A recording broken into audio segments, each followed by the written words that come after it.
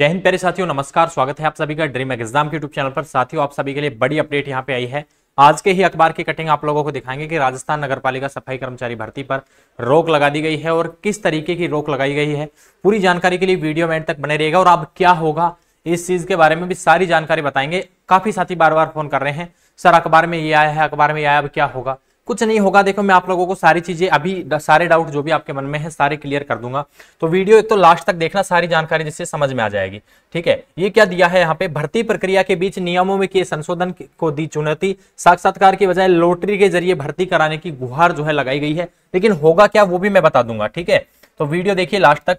ये क्या कह रहा है हाईकोर्ट ने प्रदेश के एक नगर निकाय में तेरह पदों पर हो रही सफ़ाई कर्मी भर्ती में अनियमितता मामले में स्वायत्त शासन सचिव वह दो बाईस अगस्त तक जवाब मांगते हुए पूछा है कि क्यों ना इस भर्ती प्रक्रिया को ही रद्द कर दिया जाए? साथ ही याचिका की कॉपी एएसजी को दिलवाने के निर्देश दिए गए। उनसे भी जवाब देने को लिए कहा तो यहाँ पे क्या कह रहे हैं? जो यहाँ पे याचिका दी गई, उसमें क्या कह रहे हैं? कि पूर्व में सफ़ाई कर्मियों की भर्ती प्रक्रिया लॉटरी के ज़रिए की गई थी, वहीं इसको लेकर भर्ती नियमों में संशोधन किया गया था। उन्हें हाईकोर्ट ने भी स्वीकृति दी थी। वहीं जयपुर नगर निगम की ओर से एक सफ़ाई यूनियन अध्यक्ष की मांग पर जलदाय मंत्री द्वारा खुद को सफ़ाई कर्मी संघ का संरक्षक बताकर स्वायत्त शासन विभाग के नियम बदलने की मांग की, जिस पर नियमों में मंत्री के कहे अनुसार आदेश जारी कर राज्य में संविदा पर नियोजित सफ़ाई कर्मियों को भर्ती में वरीयता देने को कहा। साथ ही निजी घरों, होटलों, रेस्टोरेंट, कार्यालयों, हॉस्पिटल आदि में कार्यरत सफ़ाई कर्मचारियों को अंतिम वरीयता देने को कहा, जबकि ऐसा करना कानूनी तौर पर गलत है। ठीक है, यहाँ पे देखो क्या कहा जा रहा है इस भर्ती के बारे में, कि जो नियमों में परिवर्तन हुए, कि वो गलत है। अब देखो जो नियमों में बदलाव हुए, वो एक तरीके से यहाँ पे इनके नज़रिए से अगर वो गलत है तो भाई एक बात मैं आपको बता दूँ कि अपने हक के लिए उसमें चेंजमेंट करवाना तो ये बात भी सही है भाई। आप कोई समाज के लिए या फिर कोई भी कैंडिडेट है, जो आप लोगों के लिए, जो आपके नगर पालिका के जो आपके ईओ के साइन होने अनिवार्य थे, उनको हटवाने को लेकर, किसी भी चीज़ को लेकर जो इनकी बहस हुई है जो इन लोगों की आपस में आंदोलन भी हुए हैं, उनके बाद कुछ नियमों में जो परिवर्तन भी किए गए हैं। तो ये नियमों के जो, नियमों में जो परिवर्तन हुए हैं ना, इनके कारण कुछ लोगों को कहना है कि अब ये भर्ती जो है, आप लोगों की 22 अगस्त तक जो है जवाब मांगा है और इस भर्ती को 22 अगस्त तक अभी आपको रोक के रखा है। चिंता करने की कोई बात नहीं है, भर्ती आपकी होके रहेगी और भर्ती आपकी होगी। और लोटरी की बात रही तो लोगों का कहना है कि लॉटरी सिस्टम में पैसे नहीं चलेंगे और ये जो सिस्टम अभी इंटरव्यू ट्रेड टेस्ट है, इसमें पैसे चलेंगे। ये लोगों का कहना है। तो मेरे भाई, कान खोल के सुन लो, इस भर्ती की पूरी वीडियो रिकॉर्डिंग होगी। वीडियो रिकॉर्डिंग होगी तो पैसा चलने का कहा मतलब है मेरे भाई? और दूसरी बात, आप लोग अगर लॉटरी सिस्टम की बात करें तो लॉटरी सिस्टम में कैंडिडेट को यह तक पता नहीं होता कि किसका कहाँ से कैसे सिलेक्शन हो रहा है। तो लॉटरी सिस्टम में तो ज़्यादा जो है, ये चीज़ होगी।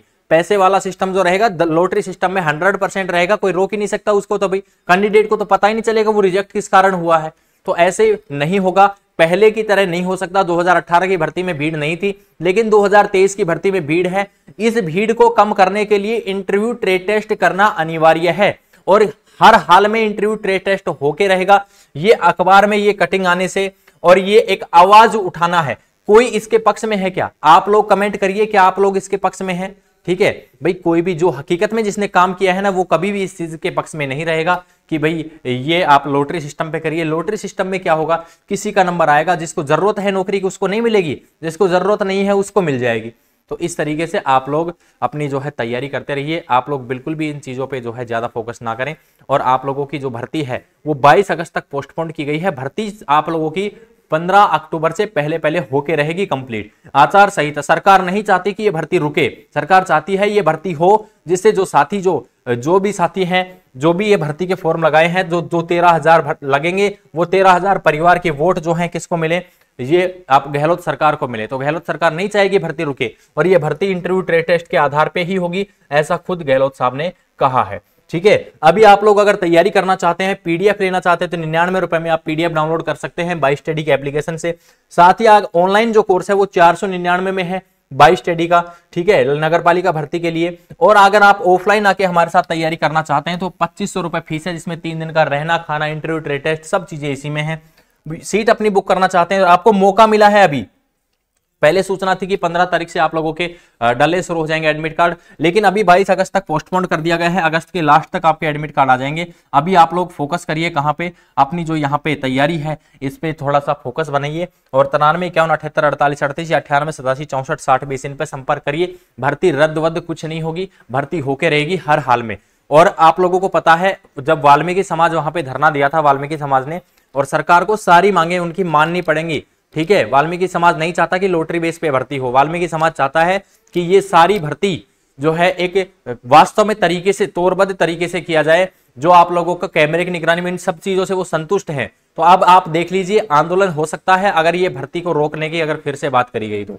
ये भर्ती नहीं रुकेगी, ये भर्ती होके रही और सरकार को ये भर्ती जो है करवानी पड़ेगी हर हालत में। ठीक है, क्योंकि युवा बेरोजगार जो है, वो इसकी बहुत ही दिनों से आस देख रहे कि भर्ती हो जाए और कहीं हम सिलेक्शन हो जाए हमारा तो ये भर्ती होके रहेगी भाई, चिंता ना करिए। आप लोग बिल्कुल हम आपके साथ हैं, हर लास्ट टाइम तक हम आपके साथ खड़े मिलेंगे। आज के लिए इतना ही रखते हैं। बाकी आप लोगों को जो भी हेल्प चाहिए, वो यहाँ पे हम देंगे। आप लोगों का ऑफलाइन जो बैच है, वो राज कोचिंग बानसुर में कहाँ पे चल रहे हैं?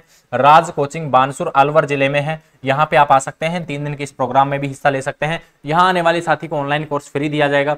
जो साथी यहाँ नहीं आ सकते, जो महिला यहाँ नहीं आ सकती तो पीडीएफ आप लोग निन्यानवे रुपए में लीजिए और चार सौ निन्यानवे में पूरा कोर्स अगर कोर्स लेंगे तो पीडीएफ उसी में फ्री मिल जाएगी साथियों, ठीक है?